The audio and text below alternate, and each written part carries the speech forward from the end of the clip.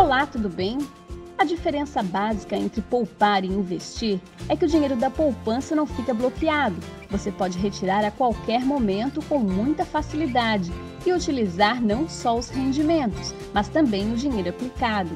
Já o investimento tem o objetivo de gerar uma renda no futuro, e esta renda, por sua vez, também tem um objetivo, seja para realizar novos investimentos ou para aquisição de algo. Vamos conversar sobre planos de investimento? Você sabia que atualmente os planos de investimento são diversos quando comparados em outras épocas? Essa diversidade no mercado exige que vocês compreendam seus objetivos, taxas de serviços, seu perfil de investidor, riscos dos investimentos e a rentabilidade dos mesmos. Bem, são várias questões que precisam ser analisadas, mas a complexidade aparente é necessária para que você invista de forma segura. Até porque ninguém gosta de perder dinheiro, não é mesmo? Por meio desse entendimento, antes de mais nada, é válido planejar e, para isso, o plano de investimento é muito importante. O plano de investimento pode ser entendido como um documento que ajuda você a direcionar suas aplicações de forma mais efetiva. Com ele, possível visualizar de forma mais precisa quais são os seus objetivos, investimentos que mais se adequam ao seu perfil, orçamento disponível para investir e até o tempo provável para chegar até os objetivos. Com um planejamento de investimento, conseguirá definir se é melhor investir em renda fixa ou renda variável. Veja alguns passos para fazer um plano de investimento. 1. Um, Analise sua situação financeira atual.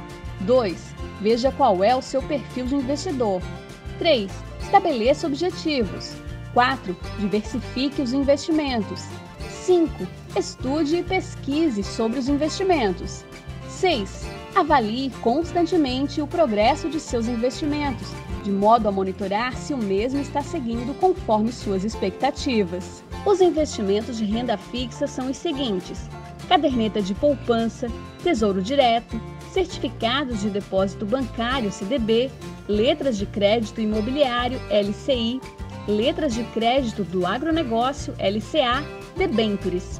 Já os de renda variável são conhecidos como câmbio e ouro, ações, compra e venda de imóveis, fundos de investimento, fundos de investimento imobiliário, Veja que são vários os tipos de investimento para comparação e análise. A escolha sobre qual é o melhor dependerá de seu perfil. É importante conhecer os perfis de investidores para avaliar qual você se encaixa melhor. Veja: conservador é o investidor que prioriza a preservação dos seus recursos acima de tudo, não assume riscos que possam comprometer seu patrimônio. Moderado é um investidor que assume riscos um pouco maiores em busca de rentabilidade superior à média do mercado, dá importância à segurança. Arrojado ou agressivo, assume riscos mais altos em busca da maior rentabilidade possível. Entende que a oscilação diária dos mercados é suavizada no médio e no longo prazos, quando o mercado apresenta maior estabilidade. Tem um bom conhecimento do mercado.